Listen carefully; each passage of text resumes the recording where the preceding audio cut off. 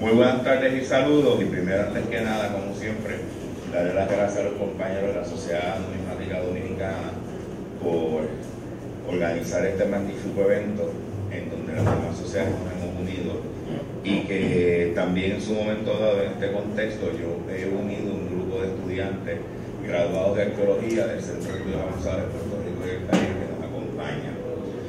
Lo primero que tengo que aclararles es que yo no soy masón, que no voy a, no voy a revelar ningún secreto que no me incumbe. Lo que estoy trabajando es el aspecto superficial de la simbología, según aparece en la extensa literatura masónica que se ha publicado en los últimos 200 años.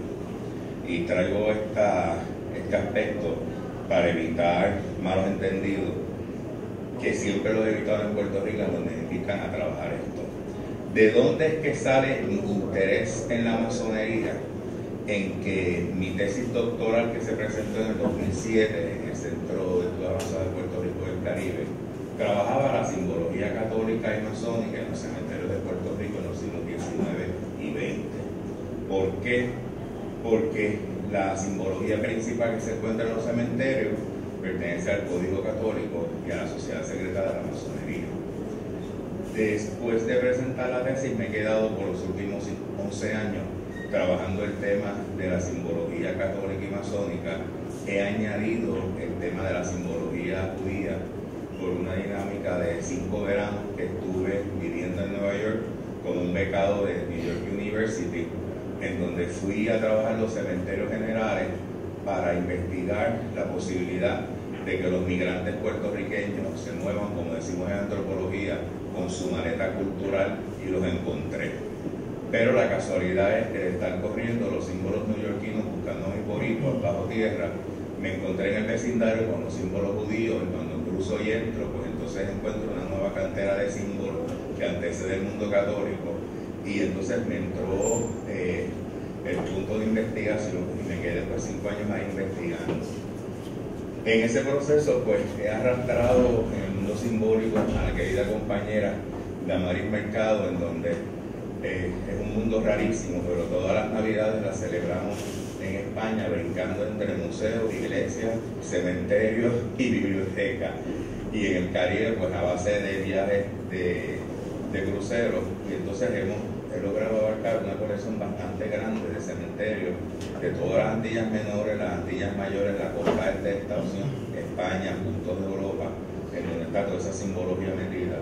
Son más de 6.000 fotografías digitales en donde está toda esa información. Y en un momento dado, pues me sigo regando y entonces, gracias a esta publicación maravillosa de los licenciados fumeros, pues un día que estoy observando las piezas, empiezo a darme cuenta de que hay una serie de simbología que tiene las posibilidades de ser de temas masónicos. Entonces, pues, analizo el libro y empiezo a ver una serie de cosas, lo comento con mi pasado presidente Pepe y me dice, pues, tírate una conferencia a ver qué pasa. Y entonces, pues, agrupé los rieles de Hacienda del catálogo de Funero y otras cosas más, porque entonces la, la presentación debe ser dividida en tres partes la primera es sobre la información terrible que hay en el catálogo de Fumero, que como ustedes han oído bastante en el día de hoy, es hasta el momento la pieza bibliográfica más completa sobre este tema, en donde inclusive era una investigación muy interesante, en donde no solamente están las piezas fotografiadas, sino los nombres del resto de las haciendas. Y una de las cosas que yo hice fue manejar todo eso para ver qué piezas eran las que tenían potencialmente simbología y qué haciendas eran las que tenían potencialmente nombres de masones, porque coinciden con el periodo revolucionario del siglo XIX, en donde de diversas formas la masonería está entrando a todo este proceso revolucionario. Y es muy interesante porque nosotros en el año pasado le hemos dedicado el 190 aniversario al natalicio del doctor Ramón Emeterio Betance, que cuando sale de Puerto Rico para vivir en Francia, en casa de unos familiares a donde su padre lo destina, era gran maestro venerable de una logia masónica francesa. O sea que Meterio Betance crece y se cría en el seno de la masonería. Y esto, pues obviamente, pues, va a tener unas implicaciones en su pensamiento. Cuando regresa al Caribe, en los diversos, espacios por donde se está moviendo Cuba y Santo Domingo, ya viene hecho un masón eh, maestro y en donde participa de logias masónicas francesas que se van a establecer en Santo Domingo y Cuba, que son las logias que por deformación van a llegar a Puerto Rico. Así que lo primero que nosotros vamos a tener en Puerto Rico son logias de orientación francesa. Después van a venir las logias de orientación española, el oriente español, que obviamente todas van a ser prohibidas en un momento dado, todas van a ser perseguidas. Y la cantidad de lideratos puertorriqueños que va a estar envuelto en el mundo político, pues pertenecen a ella. Ejemplos numéricos, cuando se establece el Comité Autonómico de Puerto Rico en 1898, seis de los siete miembros del comité eran masones. Cuando se establecen los funcionarios que le responden al comité del gabinete autonómico, cinco de los seis representantes eran masones. Y todos ellos están constatados históricamente en los diversos libros, aparte de que ellos en su momento escribían cartas, lo decían, y aplicaban una cantidad de simbología que era para elementos de conocerse entre ellos y como quien dice, pues poder comunicarse, aparte de toda la información que ha estado fluyendo. En primer lugar, en términos de agradecimiento, como les dije, agradezco a los licenciados fumeros por su excelente trabajo del catálogo de rieles de Hacienda y el permiso de fotografía de las piezas bajo estudio. De otro lado, al doctor Ariel Cruz y Gartúa, respetable hermano de la Gran Logia Soberana de Puerto Rico, quien me permitió acceso a la colección de medallas de logias masónicas de Puerto Rico, que es la tercera parte de este trabajo. La medalla en honor a Becance la adquirí en una pasada actividad en un en Plaza Las Américas, que es la segunda parte de este trabajo. Y el elemento visual, como siempre, es cortesía de mi esposa, la doctora Damaris Mercado, que es la que me lleva al mundo moderno electrónico, que todavía yo no patino, todavía patino en eso. En la primera parte, los riles de Hacienda de este trabajo aparece en el importante trabajo de Félix Fumero, Félix Fumero en el 2010. En algunos casos no se proveen datos de casa y ciudad editorial. En términos de los riles que se incluyen, la lista es la Hacienda Florida en adjunta con una estrella de cinco puntas, que es esta que vemos aquí. La Hacienda Coloso. Ah,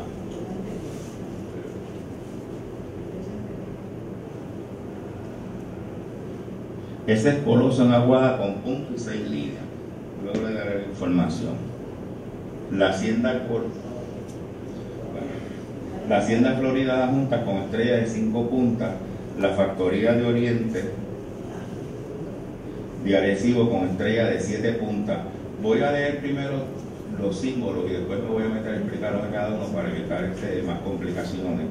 La BIG de Barceloneta con rueda de cinco rayos, la Hacienda Honradez de Ciares con Sol, la Hacienda Fraternidad de Guánica, dos pequeñas estrellas de seis puntas cada una, A, F y Co San Columbano de Guayanilla, cuatro pequeñas estrellas en los cuatro extremos, Vinerio Francescini Guayanilla, estrella de cinco puntas en sobremarca, la Hacienda Fermina de Lares, estrella de seis puntos, la Hacienda Honradez Lares El Sol, la Hacienda de Miguel Márquez Ensañar Lares El Sol, la Hacienda San Salvador Lares, símbolo compuesto por cuatro flores de lis y cuatro flechas que salen de una sol. La Siempre Viva, Lares, estrella de cinco puntas. Y fíjense los nombres de algunas haciendas, como por ejemplo Oriente, Gran Oriente, Honradez, Fraternidad, eh, Honradez de nuevo, la Siempre Viva, la Hacienda Canas de las Marías del Sol, la Hacienda Constancia, el tal se explica que aparecen varios símbolos como estrellas, cuadrados y símbolos masónicos. La de Bartolomé y Molini de Maricao, estrella de cinco puntas. La Hacienda Merceditas de Ponce, una estrella drusa. Y la Hacienda Unión en Ponce, apretón de mano. Vean el sol ahí. Aquí tienen la estrella de cinco puntas. Aquí tienen la palabra fraternidad. Aquí tenemos el sol nuevamente, el sol, el sol. Tenemos el sol nuevamente, la estrella de cinco puntas, esa es la estrella Dusa. Y entonces aquí tienen los elementos de la unión de Ponce con el apretón de mano, que es donde es uno de los primeros contactos que se hacen en el mundo masónico y en el sistema de logia, que es el juego de los dedos y la manipulación, en donde se identifican que son masón y qué grado. Esta es la segunda parte. Vamos a terminar aquí con esto. Haciendas con nombres simbólicos o filosóficos que podrían estar relacionadas a la masonería. Discordia, gracia, esperanza, felicidad, filial amor, fortuna, fraternidad, honradez, igualdad, la paz, la siempre viva, la torre, lealtad, oriente, perseverancia, porvenir, restaurada, reunión, salvación, unión, victoria. La segunda parte es una medalla, esta está aquí en forma cuadrada, que se emite como parte del 140 aniversario del municipio de Cabo Rojo y el 185 aniversario del natalicio de los dos Ramón Emeterio de Cáncer, hecha por Puerto Rico Mint y se acuña en el 2011.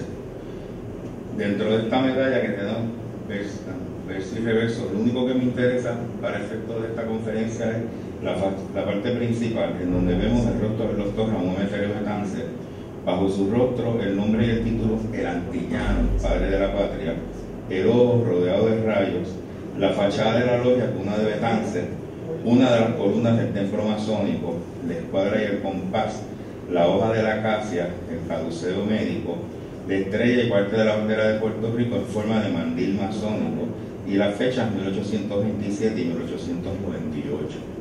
la parte de atrás lo que aparece es el escudo de Cabo Rojo con las fechas del aniversario 1871-2011 bajo el escudo del lema 140 aniversario de Cabo Rojo, Puerto Rico, el pueblo de Cofresi, aludiendo al famoso pirata Cofresi, Roberto Cofresi, el faro de los murillos de Cabo Rojo, el rostro de Salvador Bravo, nuestro primer historiador puertorriqueño, el rostro de Rebeca Colbert, una de las primeras glorias del deporte nacional, el pájaro zumbador, una serie de flores nativas en el pueblo inferior y cerca del rostro de Bravo las letras impulsas de PRM o Puerto Rico Min, Casa Cuñadora Responsable. En la tercera parte, pues vamos a hablar de. Aquí están algunos elementos relacionados. Esta es la tumba que está en la plaza de Cabo Rojo, donde está un busto y donde está el nicho, en donde se encuentran las semillas que fueron trasladadas a Cabo Rojo en el siglo XX. Y como ven, abiertamente está marcado con los símbolos básicos de la escuadra, del compás y la GES del elemento masónico, porque esto fue pagado por las logias masónicas de Puerto Rico. Entonces ahora vamos a la tercera parte, que es la primera colección medálica de logias masónicas de Puerto Rico, emitida por la Gran Logia Soberana de Puerto Rico. En el año 2015 se lanzó la primera colección de medallas de logias masónicas de Puerto Rico, auspiciada por la Gran Logia Soberana. La colección inicial consta de 17 medallas. La colección consiste de una hoja que contiene varios elementos. Entre ellos se encuentra el título de la colección, el nombre de la logia, quien corresponde a la medalla, el logo de la Gran Logia Soberana, la imagen de la medalla de la logia representada, un narrativo histórico de la logia y la simbología de la medalla. En la parte superior de la hoja descriptiva, ahí tienen una muestra de una de las hojas, en esta hoja, como ustedes verán, en la mano izquierda está el símbolo de la Gran Gloria Soberana con la firma del muy respetable gran maestro, en este caso Víctor de Ríos Pérez, que es el que autoriza el proyecto completo.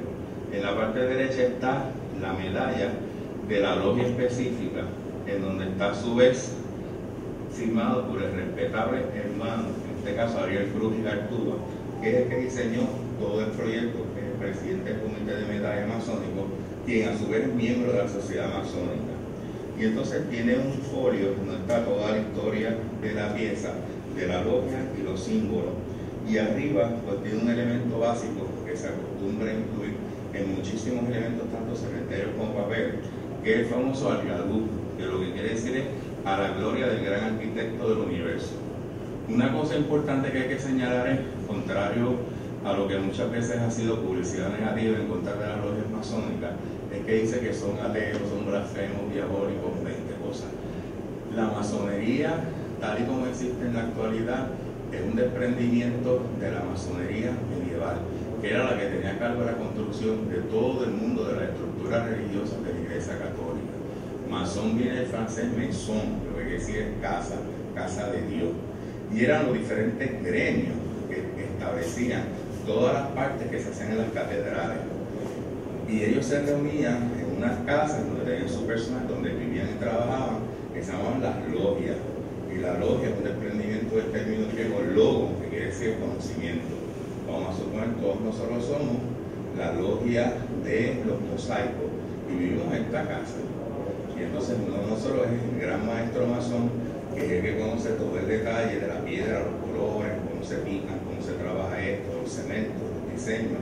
Entonces todos ustedes están agrupados en ayudantes o aprendices, que son los grados y entonces por medio de sesiones de trabajo en los talleres que montamos alrededor de todo este edificio, pues se van distribuyendo los trabajos de cortar los cristales, hacer los elementos de los, de los cementos, hacer los dibujos, hacer todo lo que hay que preparar para hacer entonces los vitrales y llevarlos a la catedral vecina.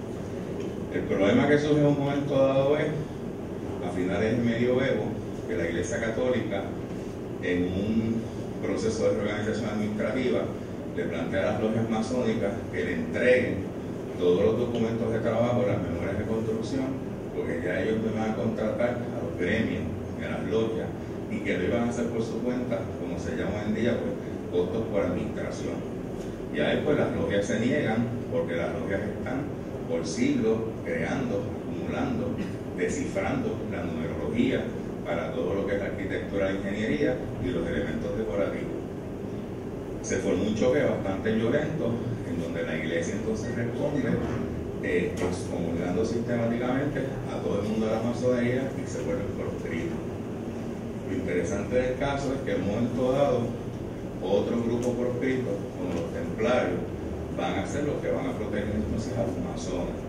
Y en las rutas de los templarios, en su proceso del cuidado del mundo del Santo Temple en Templo en Jerusalén, pues ellos van a recontratar a los masones para que sean los que construyan todos esos espacios. Cuando la iglesia le tira el cañonazo a los templarios, viernes 13, pues son los masones los que van a refugiar entonces a los templarios. Así que ahí vamos a ver en un momento dado una simbiosis bien efectiva de dos grupos bien importantes que van a ser perseguidos por la iglesia, en donde inclusive dentro de los 33 grados de la masonería hay un grado de honor templario. Entonces están todos hermanados. A mí me pasó que la primera vez que fui a una logia, a la, gran logia en San Juan, a presentar parte del proyecto, ese doctora, estudiante doctoral en el centro, y otro estudiante que era masón, yo del proyecto, yo fui, presenté esto, que fue terrible porque era como ir a la casa del carnicero a decirle cómo va a cortar la carne de la vaquita, y lo sobreviví y al final, pues estoy hablando con uno de los maestros masones y le digo, no, porque la desaparición de los templarios, y voy con, con esa ruta y me dice, templarios no desaparecimos. no desaparecimos, no soy templario.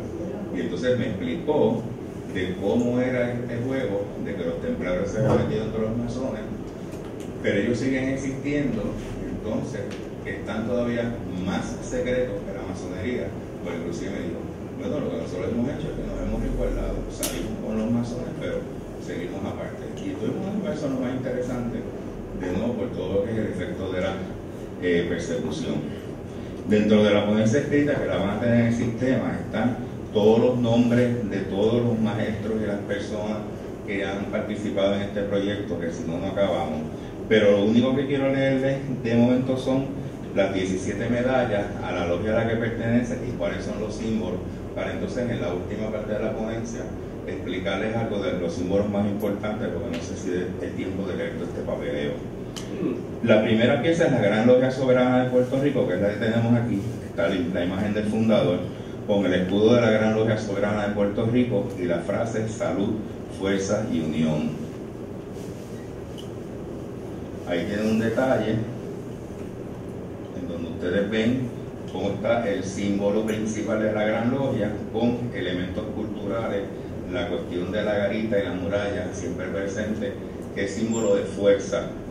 Entonces tiene toda la información sobre el proyecto y en la parte de atrás, pues entonces está el, la imagen del fundador y el, y el aniversario y el símbolo.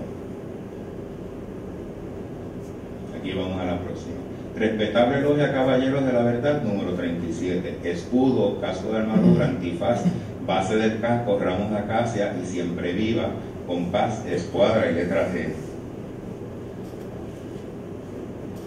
Respetable logia, Cuna de Muñoz Rivera, número 72, de los Valles de Barranquita. El término es interesante porque las logias donde se establece se llaman los valles. De hecho, hay una información de que cuando se empieza a explicar entre los, entre los masas se pregunta cuál es su valle, o sea que ese es un punto de cuál es su logia.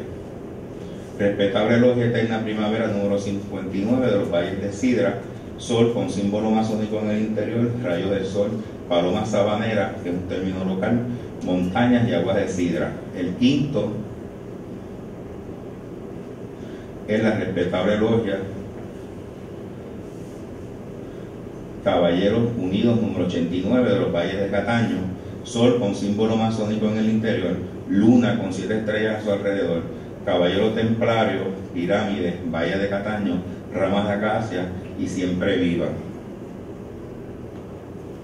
La próxima es la respetable Logia Estrella de Oriente número 30 de los Valles de Humacao, variedad de las estrellas de Oriente, el zodiaco. La séptima, respetable Logia Fénix número 20 de los Valles de Calley, el ojo que todo lo ve dentro de un triángulo, el sol, la luna y siete estrellas a su alrededor. Las columnas Achín o Joaquín y Boas, el ave Fénix, la cadena, el símbolo masónico básico.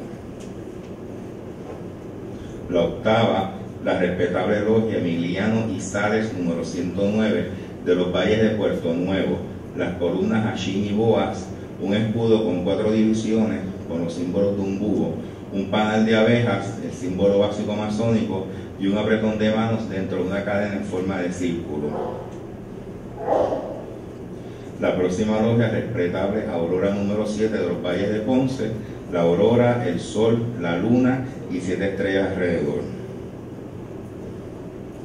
La respetable logia Franklin Delano Roosevelt número 96 de los valles de Atorrey. La culebra del Ouroboros, el ojo que todo lo ve dentro de una pirámide, el sol y la luna y sus siete estrellas, las columnas Achín y Boas, el símbolo masónico sobre el libro sagrado abierto, el piso de patrón ajedrezado, las ramas de la acacia, la siempre viva, la cadena, dos pequeñas estrellas de los extremos y la, la abreviatura Algadú, que ya dijimos anteriormente. La respetable logia Army, número 87, de los valles de San Juan, esa está en la calle Cristo, en el río San Juan. La cadena, la cruz de Malta, el logo del destacamento del 65 de Infantería, el sol y la luna, el símbolo masónico tradicional, elementos de tipo militar y la frase en latín honor et fidelitas, honor y fidelidad, que es una doble alusión a tanto al mundo militar como masónico. La 12, la respetable logia albarina número 17 de los valles de Bayamón. Esta es una de las logias más antiguas y de mayor estudio. Esa es la que me tocaría a mí si yo me iniciara. Y tengo muchísimos grandes amigos allí. El símbolo masónico tradicional, el sol y la luna y sus estrellas, las columnas Hashin y Boas, la imagen de un indio dentro de un Ouroboros, ramas de acacia en el exterior del Ouroboros. La próxima es la respetable los obreros del progreso número 63 de los valles de Fajardo. El símbolo tradicional masónico, el sol, la luna y sus estrellas, las columnas de Hashin y Boas, una estrella de cinco puntas con numerosos símbolos dentro de la culebra Ouroboros. Respetable logia.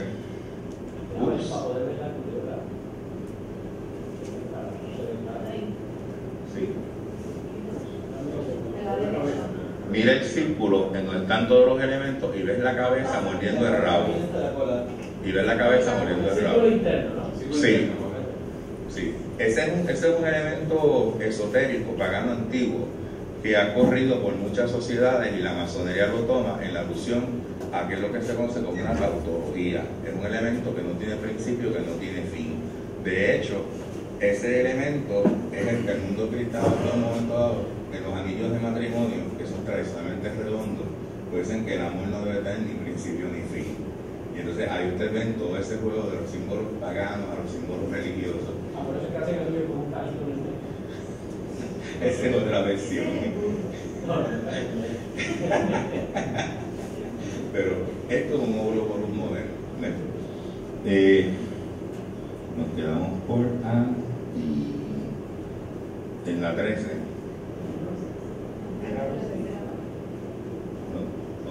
A eso vamos ahorita.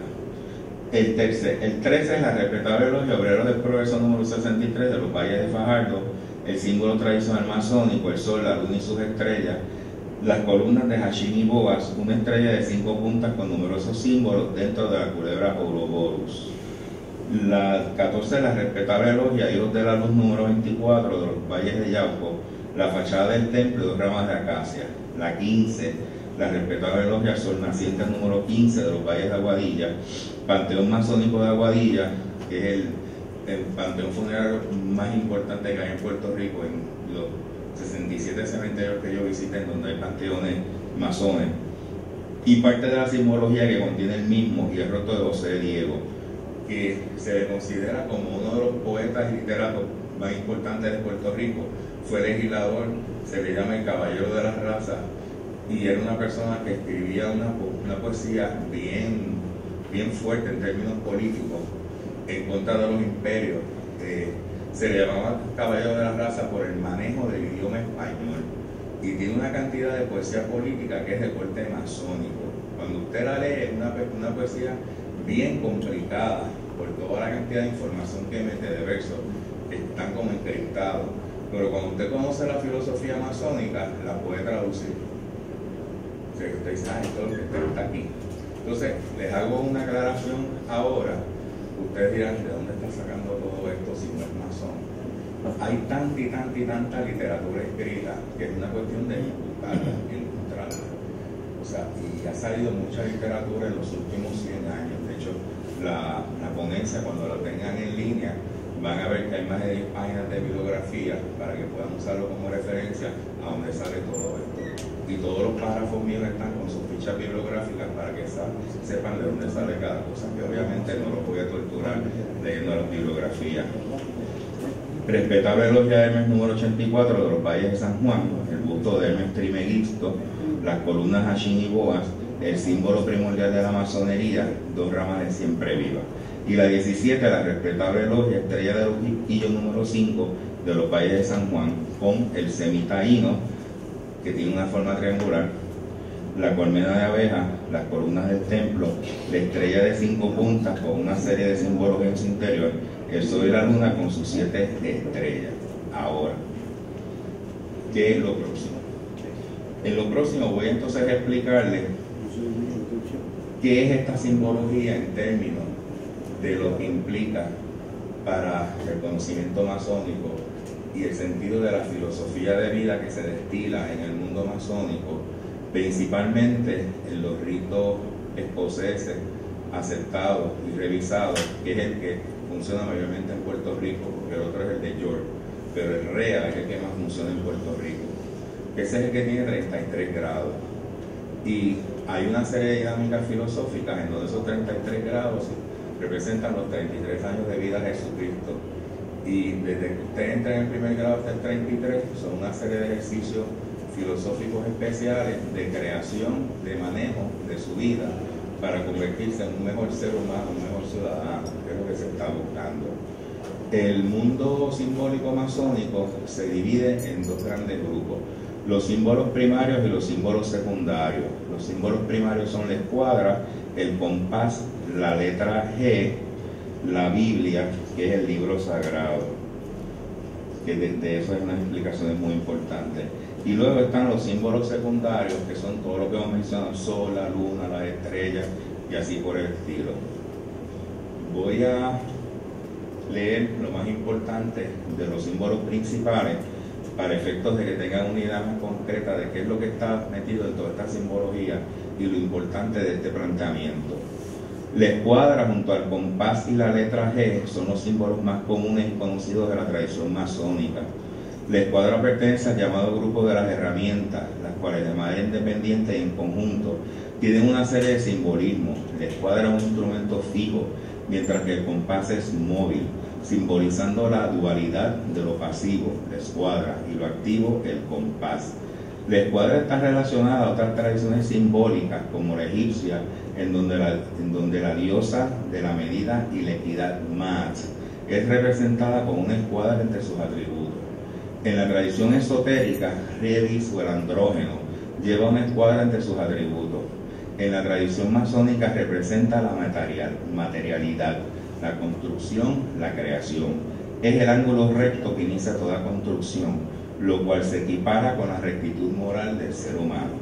La escuadra es la joya distintiva del venerable maestro, pues este debe ser el masón más recto de la logia. La escuadra es una de las tres grandes luces de la logia. Las otras dos son el compás y la Biblia. El compás es otro, otra pieza del símbolo de la construcción y representa la imagen del pensamiento, el espíritu que dibuja los círculos del mundo, por lo tanto representa la creación. Es símbolo de la medida y las relaciones como la justicia, la prudencia y la verdad. Es también símbolo de proporción, orden, armonía, la planificación con cuidado a diferencia del improvisado. El, compás es emblemático de ciertas disciplinas como la geometría, la astronomía, la arquitectura, la geografía. Es el atributo de los dioses Saturnos y Urania, y en la tradición simbólica masónica está estrechamente relacionado con la escuadra. La letra G es uno de los símbolos más conocidos de la tradición masónica. Muchas veces lo encontramos dentro de estos dos elementos, pero hay muchas veces que se firman documentos de espacio simplemente poniendo una G. Ya usted sabe la pista que es un elemento masónico. Usualmente está acompañado de la escuadra del compás, colocado en el centro de esos dos instrumentos. Los tres símbolos que se complementan, pero que a la vez son necesarios de entender por separado y en conjunto. La letra G se traduce tradicionalmente como God, palabra que significa Dios en el idioma inglés. También se le puede conocer como geometría o gematría. En un estudio más profundo del significado de la letra, hay teóricos que plantean que la letra G sustituye a la letra Yod, que es la inicial del nombre divino en hebreo. Es a la vez la inicial en varios idiomas para nombrar la divinidad principal. De tal manera la encontramos al inicio de la palabra Gae en sirio, Gud en sueco, Gott en alemán y Goda en persa. La Biblia o libro sagrado, junto al compás y la espada y la escuadra, constituyen las tres grandes luces de la tradición masónica. La Biblia abierta es el testimonio de que la fe debe guiar nuestra conducta y relaciones con los demás. Es el manifiesto de la relación entre lo humano y lo divino. La Biblia es la palabra sagrada o la conciencia de Dios, mientras que el compás y la escuadra son las manifestaciones. La Biblia se toma su sentido simbólico y no en su sentido teológico. El texto bíblico que se utiliza comúnmente es la traducción del canónico Crampton, por considerarlo una de las tradiciones más cercanas o literales de los originales antiguos. En las logias de Occidente, donde la Biblia es el libro sagrado, se utiliza con frecuencia los versículos de Reyes, en donde se encuentran las descripciones de la construcción del templo. También se utiliza el prólogo del Evangelio de San Juan por introducción, en el principio era el verbo. En ambos casos se refiere a la dualidad de lo material y lo espiritual. Juntos se armonizan en la sabiduría e inteligencia del Ser Supremo Creador. La Biblia es el ejemplar del libro sagrado que se utiliza en la mayor parte de las logias de Occidente. En otros espacios religiosos se utiliza el Corán, los Vedas, los Upanishads, el Bardo Todol, el corpus hermético, el Popol, el Popol Maya, o cualquier libro o texto sagrado que sea representante de la fe o religión de los miembros de la logia. El elemento común para que el libro sea considerado sagrado es que el mismo sea la revelación de la palabra divina al ser humano. Dentro de los símbolos secundarios, el primero que encontramos es el Sol, que es el acto principal de nuestro sistema planetario. Para todas las culturas antiguas y clásicas, sus respectivas mitologías y religiones lo consideraban el Dios principal por su capacidad creadora. Es la fuente de luz, de calor, de un nuevo día, lo que implica la generación de la vida. Se les representa de diversas maneras. En la tradición egipcia es Ra, en Heliópolis, Atón, el dios principal del faraón Amenofis IV. En la tradición griega es Apolo, que importa una flecha que simboliza a la vez los rayos. Para el budismo es Vishnu, sol del solsticio, y Surya Savitri, toda la vida. En Japón es el Paraditya, o el sol naciente que crea el hombre nuevo. Para los romanos es Jano, el dios de las dos caras o los solsticios. Los solsticios del invierno 21 y 22 de diciembre marcan el momento más bajo del sol, mientras que el de verano 21-22 de junio marcan el momento más alto. En ambos casos, estas dos etapas celestiales han sido siempre muy celebradas en los pueblos de la antigüedad. antigüedad. La festividad era tan importante que la Iglesia Católica cambió la fecha del nacimiento de Cristo del 6 de enero al 25 de diciembre para poder apagar el culto pagano en esa fecha. Para los cristianos es Cristo, la fuente de vida, con los doce apóstoles, quienes son los rayos de luz divina y eterna. En la tradición masónica, las fechas de los solsticios se celebran con la festividad de los dos santos Juanes, San Juan el Bautista y San Juan Evangelista. En las logias masónicas simbolizan el sol junto a la luna, que se le conoce como las dos grandes luminarias, y se colocan en la sección oriente dentro del templo. En otra simbología, el gran maestro o Irán es el paralelo de Osiris, representando la, la regeneración y la iniciación. Isis, la viuda de Osiris, representa la logia Oro, el hijo de Osiris, la luz, y de Isis, quien se le conoce como la viuda de Osiris, de quien nace el masón llamado el hijo de la viuda. Pero que son masones ya saben lo que significa. Dentro del templo del sol se encuentra ubicado al oriente, a la izquierda de la silla que ocupa el venerable maestro, el cual tiene a su derecho a la luna el balance simbólico del sol. La luna es el otro cuerpo celeste importante en la simbología universal y masónica. Es junto al sol las dos grandes luminarias se colocan en la sección de oriente en el interior del templo. Para las mitologías y religiones antiguas y clásicas, la luna es de gran importancia. Está representada por varios dioses en el panteón egipcio, entre ellos los dioses lunares Tot, Ponson, Min, Dobar, Apis, Set y al mismo Osiris. Para los judíos representa al pueblo judío nómada en el éxodo. Para el mundo musulmán es un símbolo distintivo el de la luna creciente, símbolo de la muerte y la resurrección. Tanto para la tradición masónica, las diversas fases de la luna se usan para crear los calendarios de la vida en general. Un elemento importante es que la ceremonia como tenida fúnebre, que es donde se reúne la logia y despide a un miembro que ha fallecido, se lleva a cabo de noche, al filo de la medianoche, cuando es más intensa la luz reflejada de la luna. Las estrellas, que las vimos bastante presentes, es quizás uno de los símbolos más complejos por el número de puntas de estrellas. Las estrellas son junto a la luna el conjunto de astros nocturnos que reflejan la luz cuando el sol desaparece.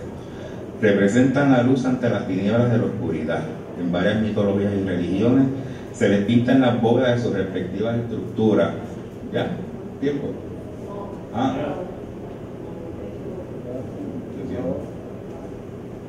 No entendí, perdón. Ah, se me termina el tiempo. Ok. Bueno, pues hay estrellas de múltiples, de múltiples puntas, lo van a tener aquí en toda la, en toda la, en toda la ponencia. Y entonces, aquí tienen como elementos referentes lo que le llaman los patrones que se utilizan en las logias, en donde como ustedes verán, están todos los símbolos que están contenidos en las pequeñas medallas, principalmente el piso ajedrezado, van a ver cómo ese ser humano se constituye de los diferentes elementos simbólicos. Ven estas piezas redondas en donde está el juego de dos triángulos o dos deltas o símbolos sagrados, flamígeros, entonces los elementos de la construcción, sol, luna, todo el montón de estrellas. Ahí tienen otro patrón donde está lleno de todos los símbolos, Hashim, Boas, los triángulos, eh, los elementos geométricos de Pitágoras. Estas son las tres columnas que responden a los elementos de los órdenes griegos, jónico, corintio y, y dórico.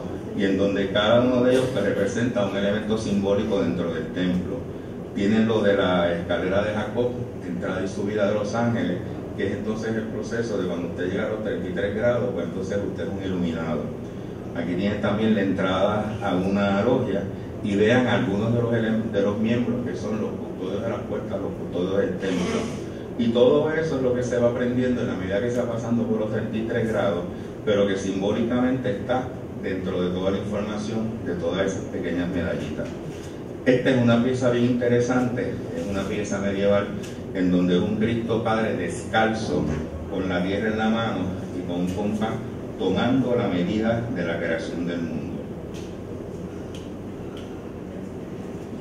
William Blake, fabuloso, el Cristo Padre en la medida del mundo. Muchas gracias por su atención.